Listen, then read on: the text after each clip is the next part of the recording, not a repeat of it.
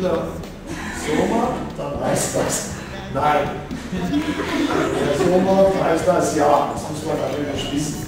Das steht im Deutschen nicht.